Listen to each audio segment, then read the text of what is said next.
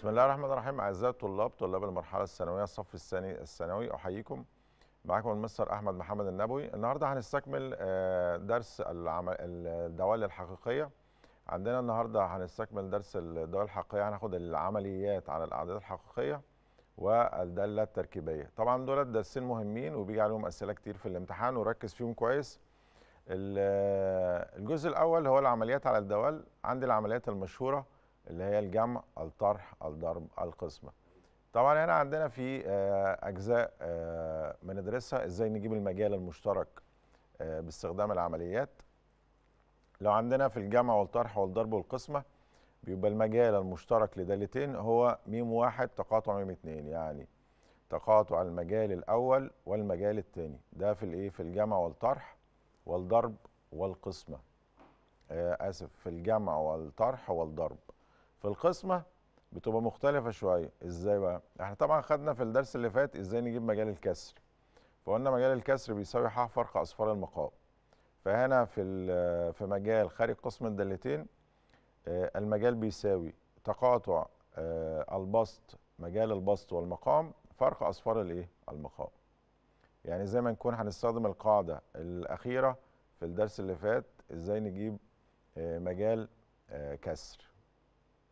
يبقى عندنا هنا في الجمع والطرح والضرب بنجيبهم بنفس الطريقة. هو المجال المشترك هو تقاطع المجالين. في خارج القسمة بيكون آه، تقاطع المجالين فرق أصفار المقام يعني نحذف أو نشيل أصفار المقام. طبعا مثال عندي هنا بيقول لي أوجد آه، مجال الداله د س بيساوي جذر س ناقص 2 زائد جذر 4 ناقص س هنا عندي بيديني اختيارات. سالب 2 و4 فترة مغلقة 2 وسالب 4 2 و4 سالب 4 وسالب 2 طيب هنا الحل هنجيب مجال الدالة الأولى اللي هي جذر س ناقص 2 هتبقى س ناقص 2 أكبر من أو يساوي صفر. آه إذا س أكبر من أو يساوي 2 يبقى مجال الدالة الأولى هو من 2 إلى ما لا نهاية. مجال الدالة الأولى من 2 إلى إيه؟ ما لا نهاية. الدالة الثانية 4 ناقص إيه؟ ناقص س أكبر من أو يساوي صفر خلي بالنا إحنا برضو بنستخدم نفس القاعدة اللي إحنا قلناها المرة اللي فاتت اللي هي آه، الدالة اللي تحت الجذر التربيعي تكون أكبر من أو يساوي صفر. يبقى 4 ناقص أكبر من أو يساوي إيه؟ صفر.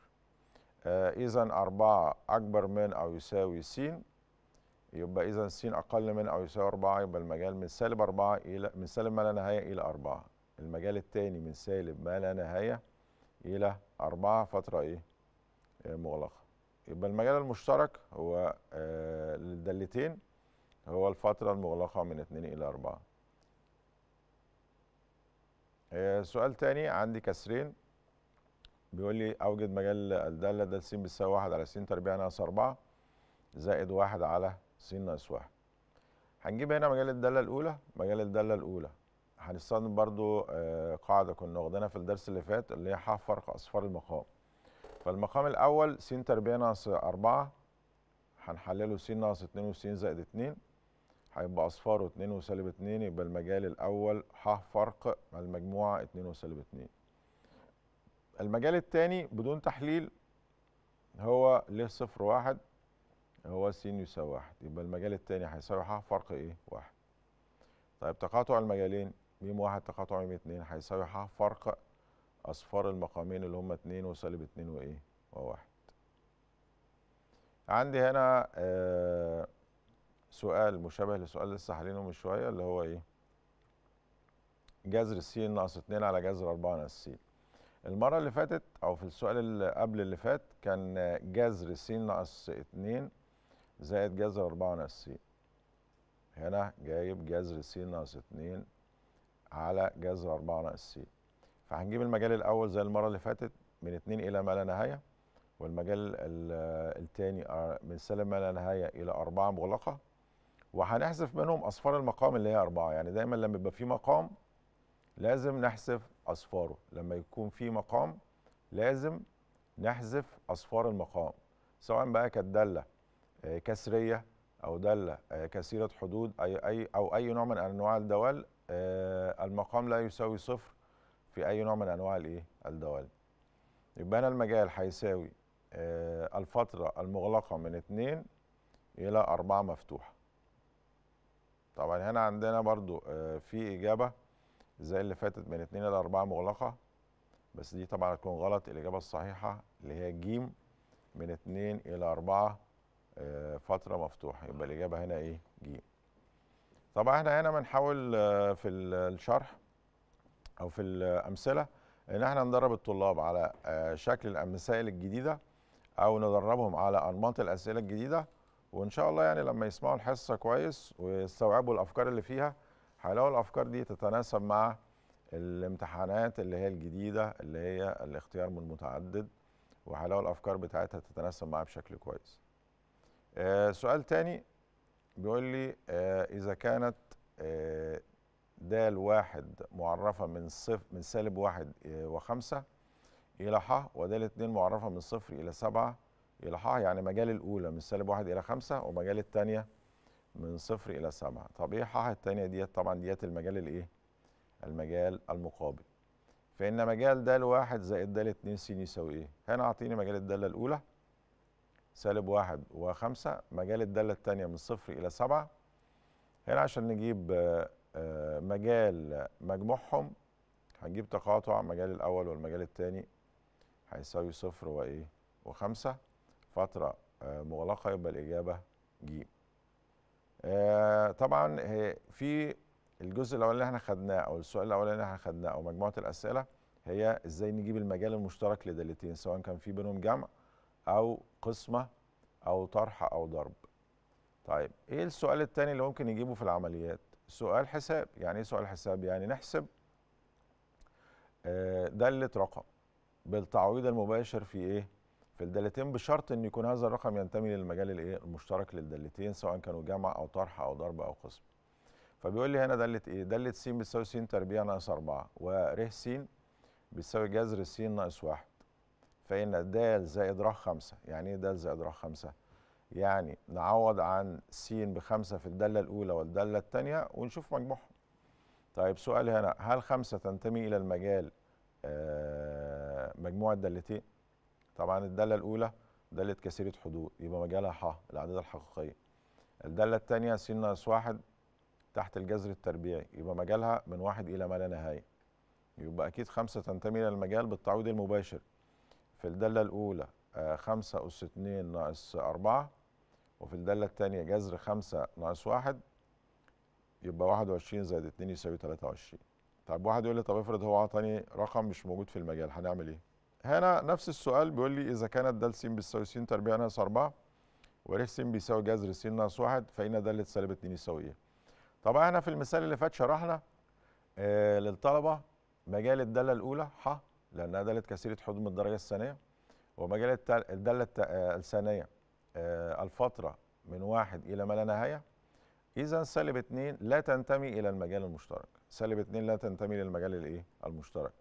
يبقى إذا دالة سالب اتنين غير معرفة لأنها غير موجودة في المجال.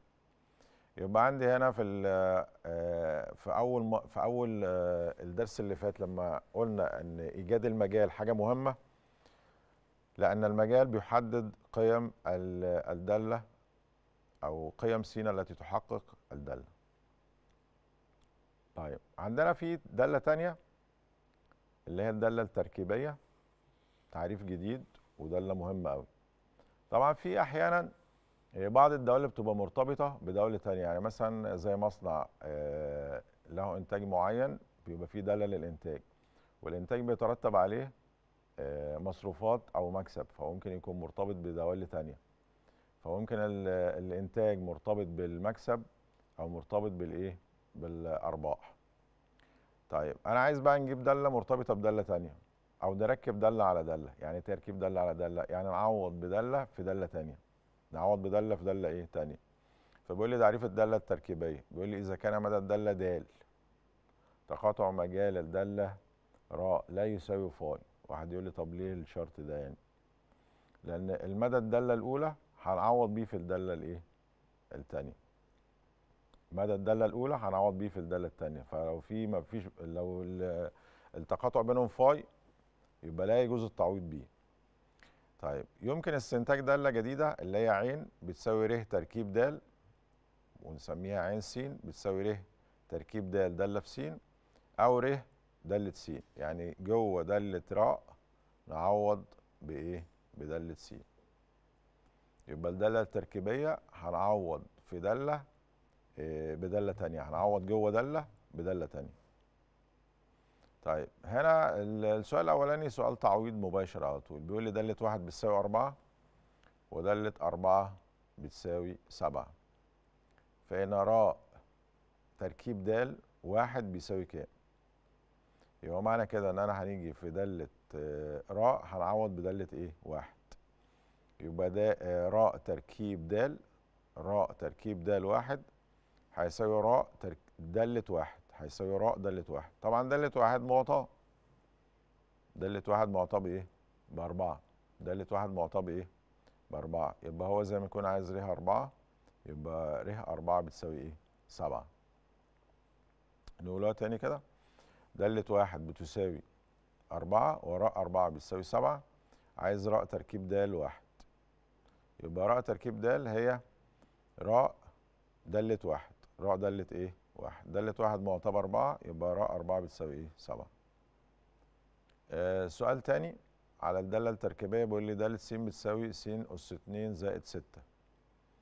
آه وراء س بتساوي تلاتة س فإن دال تركيب راء تلاتة بتساوي كام؟ خمسة وسبعين سبعة وتمانين تسعين أو مية.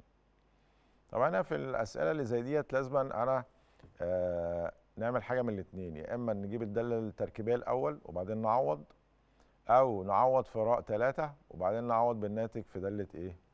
في دالة س يعني عندي طريقتين ممكن نستخدمهم. إما إن أنا نجيب الدالة التركيبية الأول أو نعوض الأول طالما هو السؤال أصلا تعويض. يعني السؤال هنا تعويض فممكن نعوض من الأول على طول. طيب آه نرجع تاني للسؤال. طبعا الطلبة وهي بتحل معانا لو هو بيحل بالورقة والقلم هيكون أفيد له أو هيستفيد أكتر لأن المعلومة هتثبت معاه. فالطالب اللي قاعد بيتفرج علينا برضو إيه وهو بيشتغل أو بيتفرج يشتغل معانا إيه بالورقة والقلم هيكون الاستفادة بتاعته أكتر يعني. آه ده التركيب آه راء س بتساوي. هنيجي نعوض أنا في الدالة. د اللي هي س أس 2 زائد 6 نشيل السين ونحط مكانها 3 س يعني إيه نعوض مكان س براه س طبعا الدالة التركيبية إحنا قلنا الدالة التركيبية معناها إن في دالة هنعوض بيها في دالة ثانية يعني مكان السين في الدالة الأولانية اللي هي دالة س بتساوي س اس 2 زائد 6 هنعوض ب 3 س يبقى نشيل س في الدالة الأولى ونحط مكانها إيه؟ 3 س تبقى 3 س اس 2 زائد 6 دي الدالة التركيبية. لو حد حب يفكها أو يبسطها هتبقى 9 س اس 2 9 س اس 2 زائد 6 بالتعويض عن س ب 3 يبقى لو حطينا س ب 3 في القوس 3 في 3 ب 9 اس 2 ب 81 81 زائد 6 يساوي إيه؟ 87 طب لو واحد عوض من الأول كده على طول هجيب الأول راء 3 هتبقى 3 في 3 ب 9 وبعدين يجيب في الدالة الأولى دالة 9 هتبقى 9 اس 2 زائد 6 ده لو حد حب إيه يعوض من الأول. عندنا سؤال تاني بيقول لي إذا كانت د س بتساوي س اس 3 وراء س بتساوي س اس 2 فإن د ترك د تركيب راء س هي س اس 3 ولا س اس 6 ولا س اس 5 ولا س اس 4 طبعا في بعض الطلبة لو السؤال جديد ممكن ما يفكرش فيه تفكير صح يعني يفكر إن هو يختار عشوائي وده طبعا يعني إيه غالبا بيكون إيه تفكير خاطئ يعني. التفكير الصح إن إحنا بنستخدم القاعدة أو التعريف اللي أنا درسته بشكل بسيط ومباشر هتلاقي السؤال يتحل معاك على طول. يعني داي دايما السؤال الاختياري طريقة حله بتكون سهلة ولو استخدمت التعريف اللي بينطبق على السؤال هيكون سؤاله حله في خطوة أو خطوتين يعني ممكن ياخد مننا دقيقة أو أقل من دقيقة في الحل. طيب نرجع للسؤال تاني كده. دالة س بتساوي س اس 3 وراء س بتساوي س اس 2 هو عايز د تركيب راء. عايز د تركيب إيه؟ راء.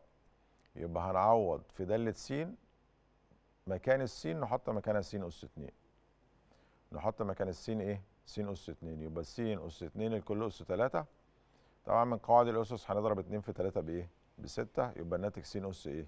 ستة. طبعا سهلة.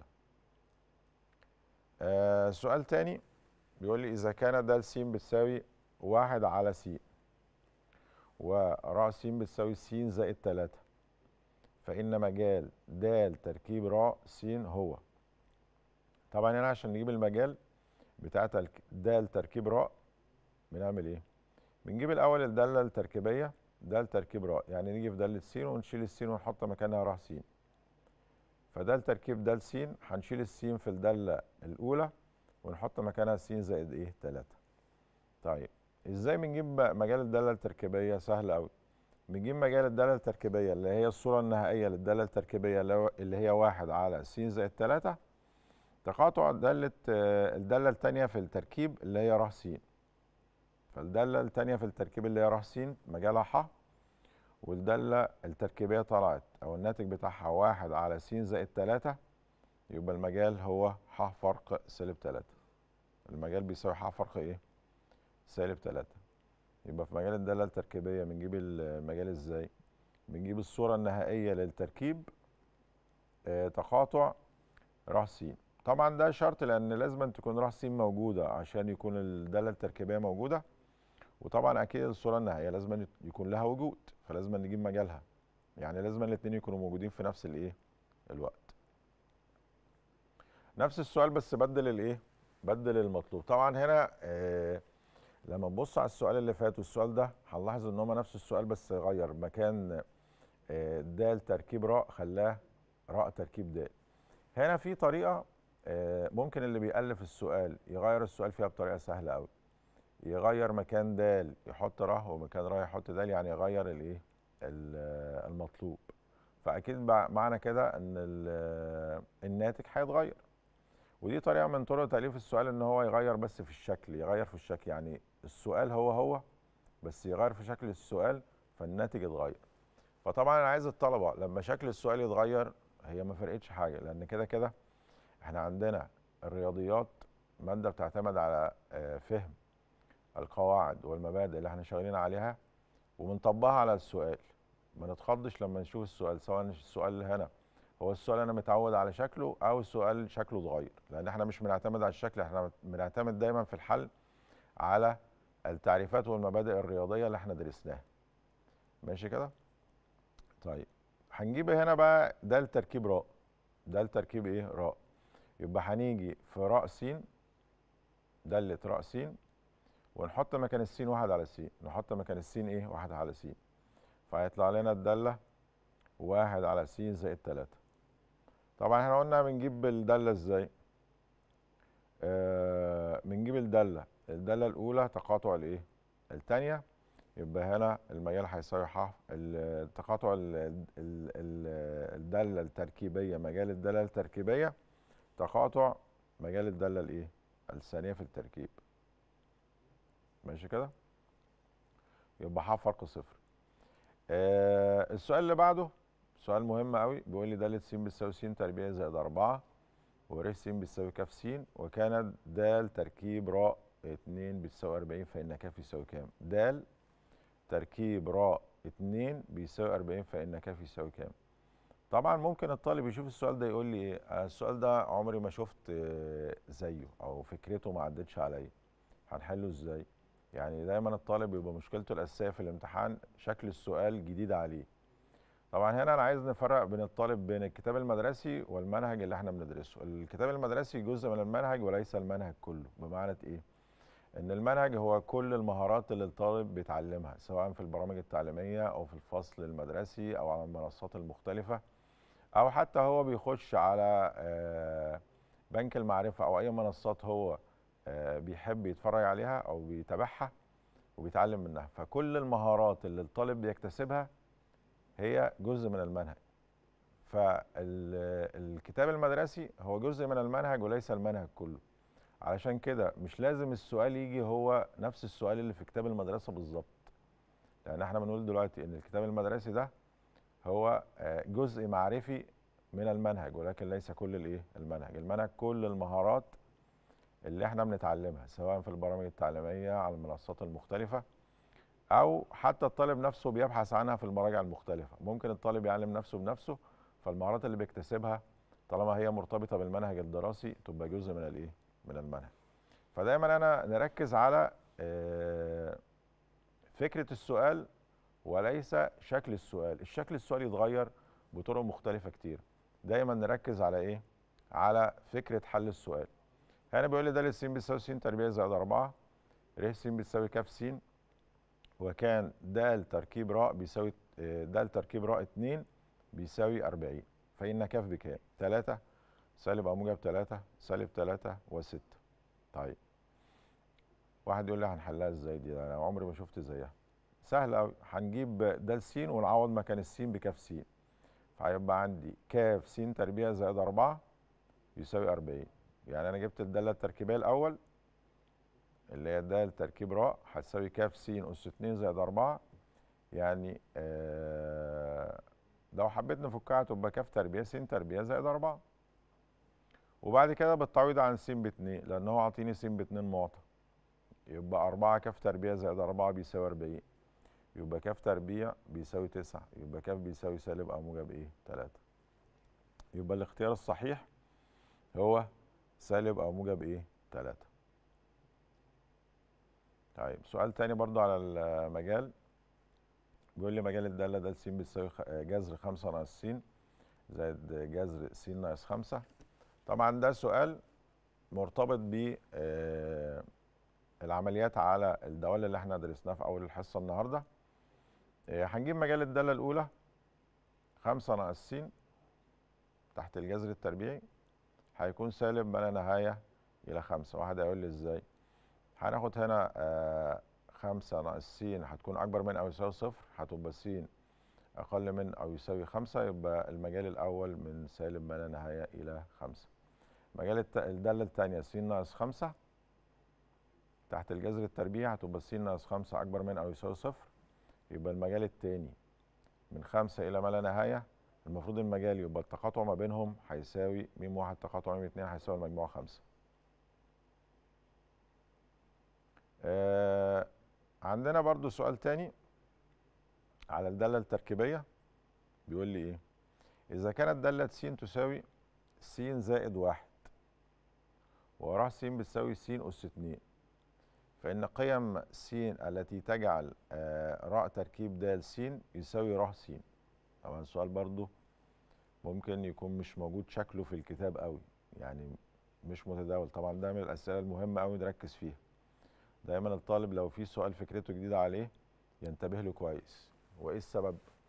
دايما الفكرة الجديدة بتبقى مثيرة للتفكير. الفكرة الجديدة تكون مثيرة للتفكير. فأنا لو شفت آه، سؤال في منصة أو في برنامج أو غيره ولقيت السؤال جديد فدايما إيه؟ يحصل لي إثارة في التفكير. هنا السؤال جايب الدالة التركيبية بتساوي إحدى الدوال الأساسية في الإيه؟ في السؤال. هو جايب لي هنا إيه؟ دالة س تساوي س زائد واحد وراء س بتساوي س أس اتنين. بيقول لي أوجد قيم س التي تجعل آه راء تركيب د س يساوي ر س يعني عايز الدالة التركيبية تساوي الدالة التانية. طب القيم دي هل هي تساوي صفر نص سالب نص واحد؟ طبعا السؤال هنا محتاج مني خطوات بس بسيطة. إحنا قلنا في الأول السؤال لو أنا استخدمت التعريفات والمفاهيم الأساسية هيكون من السهل إن إيه؟ نحله. آه هنجيب الدالة التركيبية هتطلع س زائد واحد أس اتنين. هنساويها بر س اللي هي س أس اتنين. هناخد الجذر التربيعي للطرفين. طبعا هنا في عندي طريقتين. طبعا الأول تاني نعيد الجزء الأولاني ده عشان مهم. هنجيب الأول الدالة التركيبية. د تركيب راء. هتساوي س زائد واحد أس اتنين. هتساوي راء س اللي هي س أس اتنين. ماشي كده؟ طيب علشان نضيع التربيع في الطرفين ممكن عندي طريقتين. يا إما نفك القوس أو ناخد الجذر على طول. فلو خدت الجذر في الطرف الأيمن والأيسر هيبقى س زائد واحد يساوي س أو س زائد واحد يساوي سالب واحد. طبعا س زائد واحد يساوي س دي مرفوض لأن إحنا لو حذفنا س مع س هيبقى واحد يساوي صفر. طيب الجزء الثاني بقى س زائد واحد يساوي سالب س هنودي السالب س مع س في الطرف الأيمن يبقوا 2 س وواحد في الطرف الأيمن هتروح للطرف الأيسر بسالب واحد يبقى 2 س بتساوي سالب واحد. يبقى س بتساوي سالب إيه؟ س تساوي سالب نص. س تساوي إيه؟ سالب نص. لو لاحظنا في الحل هنلاقي الحل خد مني خطوتين أو ثلاثة بالكتير. يعني جبنا الدالة التركيبية. وسويناها بالدالة الثانية خدنا الجذر التربيعي للطرفين وجبنا قيمة السين على طول. فحتى السؤال لو هو جديد أو فكرته جديدة ممكن يتحل بإيه؟ بطريقة سهلة. لأن السؤال الاختياري غالبا بتكون طريقة حله خطوة أو خطوتين. يعني بالكتير خالص ثلاث خطوات يعني. أه هنلخص اللي إحنا خدناه في الدرس الأول والثاني إحنا خدنا في الدرس الأول والثاني أه تعريف الدالة. وقلنا إن الدالة هي علاقة من س إلى ص بحيث كل عنصر من عناصر س بيظهر كمسقط أول في أه العلاقة. طب لو في عنصر ظهر مسقط أول مرتين يبقى ليست إيه دالة. وخدنا اختبار الخط الرأسي أه لو رسمنا خط رأسي وقطع الدالة في أكثر من نقطة يبقى اذا هذه العلاقة ليست إيه دالة. آه بعد كده خدنا إزاي نجيب مجال الدوال وخدنا مجال الدالة الكسرية. فرق اصفار المقام. داله الجذر. لو الجذر دليله عدد فردي يبقى ح ولو دليله عدد زوجي يبقى آه القيمة اللي تحت الجذر تكون موجبة أو تساوي صفر. خدنا العمليات على الدوال. العمليات على الدوال الجمع الطرح الضرب القسمة. المجال المشترك للجمع والطرح والضرب هو نفس المجال. ميم واحد تقاطع ميم اتنين. في القسمة بس بنحذف أصفار المقام يعني بنشيل أصفار الإيه المقام ودي قاعدة ثابتة. يعني في أي دالة لو عندي سواء كانت دالة فيها جذر أو كثيرة حدود بنجيب الإيه؟ المجال ح فرق أصفار الإيه؟ المقام. بس لو طبعا جذر بيبقى قيمة الجذر لازم تكون لو هي دليل الجذر زوجي تبقى موجبة أو تساوي صفر. ولو دليل الجذر فردي يبقى ممكن تكون الأعداد الحقيقية كلها. بعد كده خدنا الدالة. التركيبية وقلنا الداله التركيبية معناها إن إحنا بنعوض في دالة أو بنعوض باستخدام دالة في دالة ثانية إزاي بنجيب المجال للدالة التركيبية؟ بنجيب المجال من الدالة الصورة النهائية للتركيب تقاطع مجال الدالة التانية في التركيب. ماشي كده؟ آه خدنا أمثلة مهمة على الدالة التركيبية واللي هي الأمثلة الأخيرة مهمة جدا.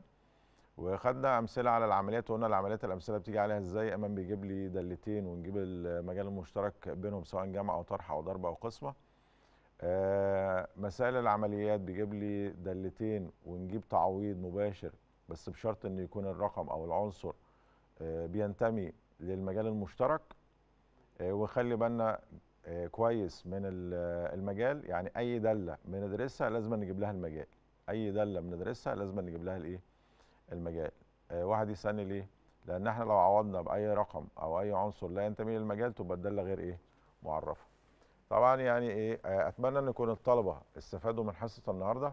أشكركم والسلام عليكم ورحمة الله.